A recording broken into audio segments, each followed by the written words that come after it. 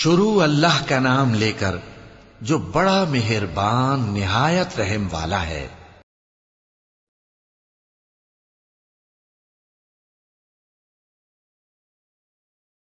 कहो कि मैं सुबह के मालिक की पनाह माँगता हूँ, हर चीज़ की बुराई से जो उसने पैदा की, और अंधेरी रात की बुराई से जब उसका अंधेरा छा जाए, और गंडों पर पढ़ पढ़कर फूंकने वालियों की बुराई से।